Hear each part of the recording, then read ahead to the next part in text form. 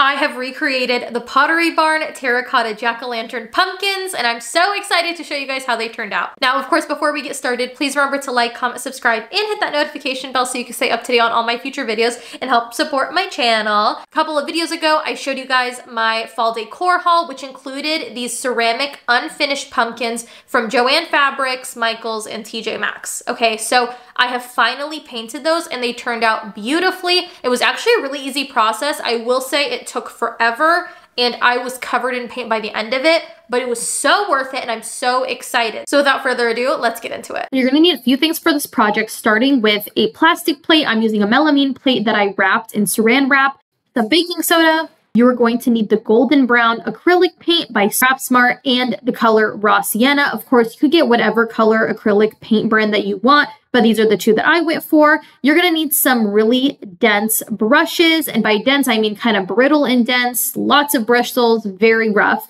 And of course, you're, you're to need some ceramic pumpkins from, of course, mine are Home Goods, TJ Maxx, Michaels, and Joann Fabrics. You're to start by measuring out the paint pretty much 50-50 on either side. You're to do a one-to-one -one ratio and keep mixing until you get the desired color. As you can see, this pumpkin right here is the color that I am going for. It's nice and kind of terracotta orange. It's something that I wanted. And then go ahead and mix that all up. I went ahead and tried just painting one of my ceramic pumpkins with just paint, no texture, and this is how it turned out. And the color is absolutely perfect, but it is lacking that texture. So for my second round, I decided to add some baking soda. So the baking soda you're going to use normal baking soda and just kind of eyeball whatever, however much you need. It's all going to depend on the level of thickness and texture that you want in your paint go ahead and paint that on just as you normally would, and then and you have your finished product. This is actually a side-by-side -side between the only regular painted one and the painted one with the baking soda. Just keep painting all your pumpkins this way, and then before they dry out, but not while they're soaking wet, go ahead and dust them with some baking soda.